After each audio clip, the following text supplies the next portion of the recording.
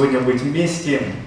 И вы знаете, э, хорошо от того, что нас сегодня объединяет одна очень важная тема, тема, которая каждого из нас касается, это тема воскресения. Даже те люди, которые сомневаются в воскресении, не верят в это, они все равно внутри сердца, в сердце своем, они надеются на то, что их сомнения, они лживые, обманчивые, и все-таки они воскреснут. Вы знаете, эта тема, она объединяет нас вместе, потому что мы можем сегодня верить в Иисуса Христа. Мы понимаем, что Он является залогом нашего воскресения.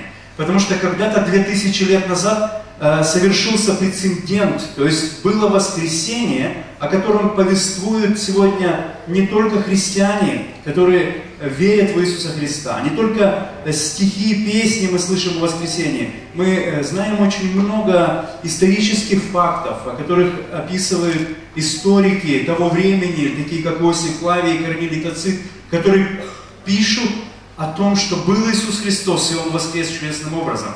Но есть еще нечто, что нас всех может объединять. Это общее пение. Когда мы вместе поем. Вы знаете, издревле люди, они объединялись вокруг определенных гимнов, псалмов, песен. Тогда, когда собирали урожай, когда шли, может быть, на войну, тогда, когда вместе праздновали какие-то праздники, люди пели вместе. И мы предлагаем, чтобы сегодня на нашем вот этом торжестве воскресения Иисуса Христа тоже звучали общие песни. Они будут проецироваться, тексты этих песен будут проецироваться, и мы вместе будем петь с вами. Только я прошу, давайте будем дружно петь, смотря друг на друга, смотря на то, что слова э, о воскресении Иисуса Христа, они сегодня наши сердца наполняют надеждой. Песнь «Я знаю, жив мой Искупитель».